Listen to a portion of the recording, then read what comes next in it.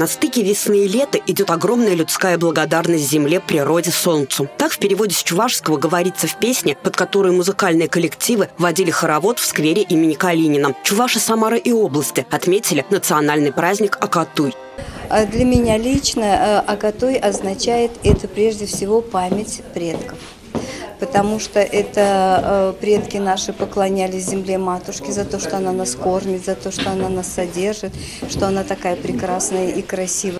Акатой – это праздник земли и плуга. Он отмечается после окончания весенних полевых работ. Люди благодарят природу и тех, кто работает на земле. Так здорово, что люди разных национальностей сейчас это до сих пор творят – и хотят сказать спасибо небу, спасибо земле, спасибо солнцам и, конечно, спасибо людям за их труд, за благодарность природе, мира, любви, красоты, благополучия хочется, чтобы было на земле. Такие праздники – это в первую очередь дань традициям. Педагог младших классов Надежда Вармаскина часто рассказывает своим ученикам о национальных праздниках. У нас Самара многонациональная. Обязательно рассказываю, как много национальностей проживает на территории Самарского края. И, конечно же, говорю о чувашах.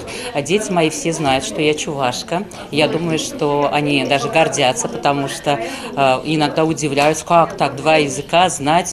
Кроме концерта, участники праздника подготовили выставку. Столы в Самарском доме дружбы народов были богаты блюдами национальной кухни. Светлана Тимофеева, Григорий Плешаков. События.